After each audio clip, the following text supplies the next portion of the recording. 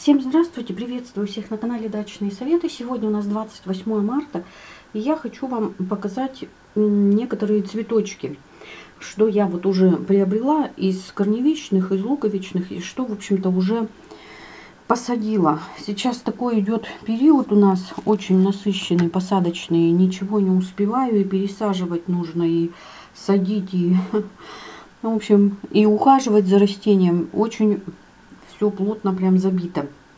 Поэтому вот эти вот я посадила. Здесь у меня посажены растения. Ну, не сняла я, как я их посадила. Я их посадила, наверное, дня два назад. Вот в этом стаканчике, стаканчики у меня пол-литровые. Здесь у меня посажена гейхера. Вот такую гейхеру я купила, малахит.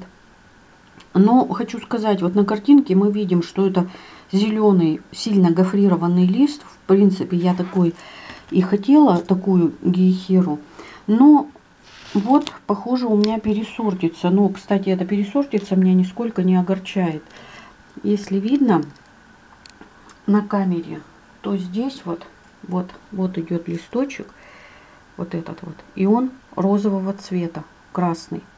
И сухие листики, которые были Тут вот еще вот сейчас идет небольшой росточек.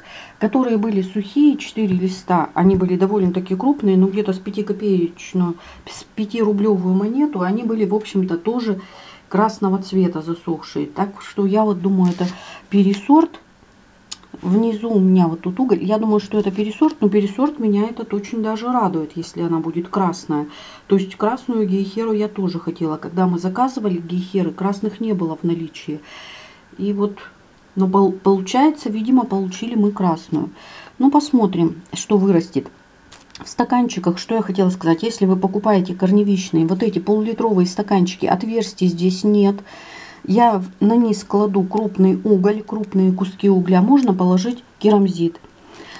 Э, грунт, который я всегда готовлю для любых растений, то есть это у меня грунт Грунтами я пользуюсь, я уже говорила, какими. Это либо Буйский химический завод «Волшебная грядка», очень мне нравится этот производитель грунтов и удобрений, либо фирма «Пересвет», ПКФ «Пересвет». У них идет цветочная, это радуга, ну, у них есть и роза, и фиалка. И также у них есть универсальные грунты. Это плодородие, фермер, сеньор, это для томатов и перцев. Ну, в общем, тоже отличные грунты. Вот в данный момент у меня вот эти 25-литровые грунты. Конечно, я показать мешок этот не могу. Он слишком большой. В общем-то, вот это вот плодородие у меня посажено.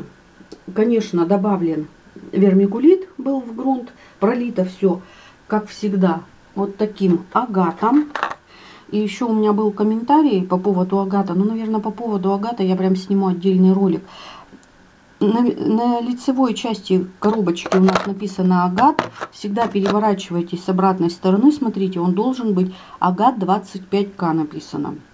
С обратной стороны. Если этого не показано, ну я не знаю, это возможно тогда не настоящий агат. Если и с лицевой стороны, и с задней э, просто агат написано. Вот там вот такие вот шприцы 3 миллилитровые. Конечно, грунт пролит агатом обязательно. Если агата нет, пролейте фитоспорином, любым, в общем-то, фунгицидом. Я, когда вот у меня агата, если не было, сейчас он у меня, конечно, не переводится, а раньше я добавляла в грунт сухой фитоспорин. Мне все-таки сухой фитоспорин больше нравится, порошковый. Просто смешиваем с грунтом и, в общем-то, тоже обеззараживаем землю. Очень хорошо, если вместо, если нет агата, добавить глиокладин. Потому что глиокладин, конечно, как я и всегда говорю, гораздо сильнее препарат. И таким образом вы обеззаразите землю свою. Ну вот, в общем-то, тут только вот вермикулит, грунт и агат. Больше ничего нет. Так они у меня и будут расти до высадки в грунт. Ничем я их удобрять не буду, так как, ну, по крайней мере, месяц тоже, точно. А там посмотрим по погоде. Если я уже в мае в начале их высажу, то мне и не придется поливать, удобрять. А если получится так, что погода не, не позволит нам высадить, то придется удобрить. Но это будет не раньше, чем через месяц. Вот тут у меня гейхера. А вот здесь вот у меня хоста, вот это белые, белые перья. Как я садила хосту, тоже здесь добавлен снизу. А нет, здесь я уголь не добавляла, я просто посадила в грунт, так как хосту ее сложно, в общем-то, загубить. В стаканчиках отверстий нет. Почему я не делаю отверстия? Потому что, ну, очень быстро грунт пересыхает, если мы делаем отверстие. Хосту загубить очень сложно. Это, в общем-то, такое неубиваемое растение, на мой взгляд. Вот она уже дала росток. Как только я ее пересадила, она дала росток. Когда я садила хосту, я корешки немножко где-то на пол сантиметра подрезала. Не бойтесь это делать, подрезать корни у хосты. Ну, как еще раз повторюсь, хосту очень сложно загубить.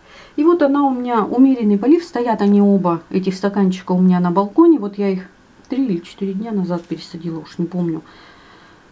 Не вчера я их пересаживала, дня три или четыре уже как пересажены. Вот они политы, восточный балкон, и я смотрю, как только грунт высох, здесь тоже посмотрела, все сухо, все, я поливаю. Дальше, что еще хотела в этом ролике вам показать. Вот сейчас в продаже очень хороший выбор анимон. Вот здесь у меня один, одна картинка, это я остатки покупала, забирала, забрала с картинками с картинкой. Но есть их очень огромный сейчас выбор. Вот так вот они выглядят. Это вот такие вот сухарики. Очень легко их выращивать. Поверьте, цветок очень шикарный. Прям, ну, красивейший просто. Я их сажаю каждый год. Если кто-то живет в южных регионах, они прекрасно зимуют. Так как у нас даже вот покупатели говорят, у кого песчаные почвы, э, говорят, что зимует отлично анимона и растет каждый год.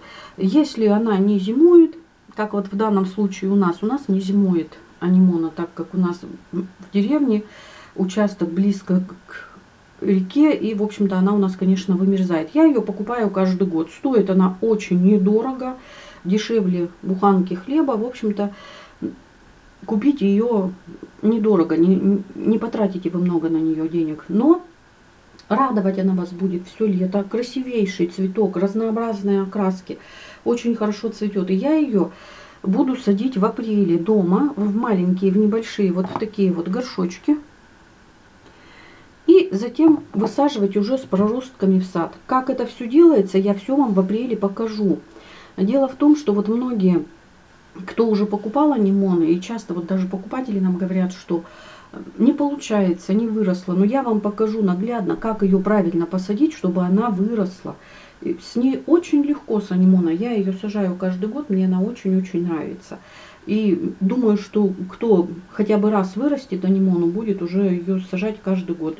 Очень симпатичный цветочек, огромное разнообразие расцветок. Не нужно, в общем-то, долго выращивать ее в рассадный период. Все очень быстро и хорошо с анимоной получается. Главное, она не очень любит воду, то есть аккуратнее с поливами.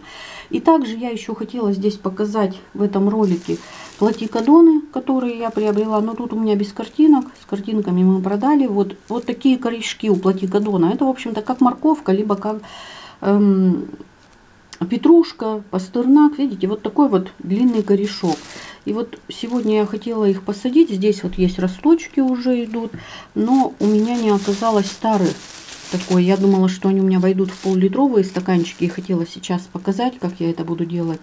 Вот этот вот прям срочно надо уже высаживать. Видите, корешки, эти э, росточки уже большие.